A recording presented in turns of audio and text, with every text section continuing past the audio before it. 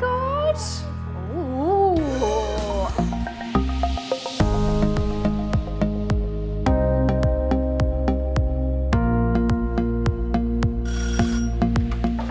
Emer, hi. Darren. Darren, how are How's it you? How are you? Nice to meet you. Come on Very in. much. So, Emer, this is the room. This That's is the right. space. Yes. Yep. Tell me what you like about it.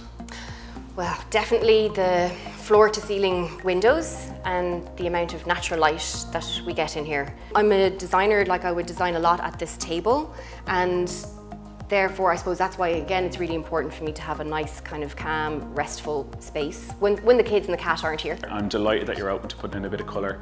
Uh, I think this space is going to have a huge transformation and I'm really excited to see it when it's finished. Oh cool, great, I'm excited too.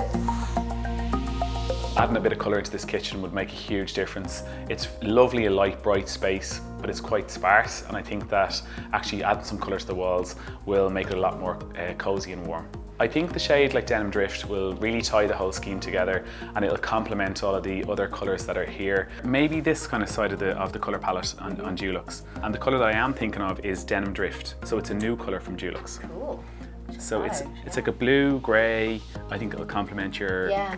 Cabinets really nicely. Mm-hmm. And I see a lot of that, that kind of bluey, greeny colour in your jewellery as well. Yeah, yeah, I'm probably just naturally just drawn to it. So yeah, this, this is exciting for me. For the woodwork, what I'd suggest is an ivory white. So it's a nice crisp colour. Emer, I have some rollable tester samples. Let's head down to the kitchen and try them out. Awesome. One of the denim drift and one of the freshwater pearl. Okay, so I'm going to try them out. These are really handy. They're really easy to use.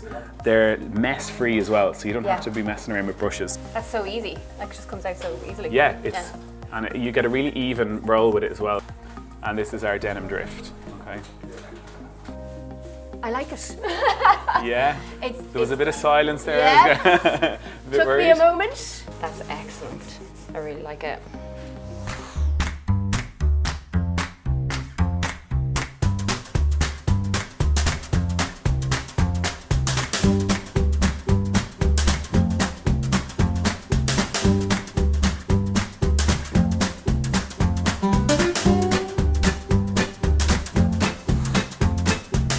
Guys, here is your new kitchen.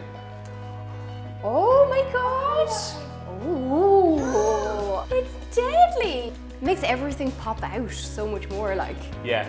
yeah. Thank Happy- you so much. Yeah, no, you're Aw. Oh my god, it's going. It's like a brand new kitchen. Like, It just shows you don't need to paint a wall white for your Yeah. art to pop out, you know. So yeah. yeah, it's better than I could have anticipated. Like, yeah, it was a risk, but I'm a risk I'm really glad we took. Yeah, love it. I just think it's cozier and it's going to sound weird because it's blue, but actually warmer than the white, which was quite clinical. I used Dulux denim drift in this room to link it back to colours that Emer loved. I noticed that a lot of her jewellery, the blue hues come through and she really likes nature. So I thought that trying to bring a bit of nature inside with the blue skies uh, would work well in this room. I think when you're choosing a paint in the kitchen with a young family, it's important that the paint is durable, that the colour can withstand marks and scuffs. It's also really helpful if the paint is washable, just in case there's any handprints or marks on the walls.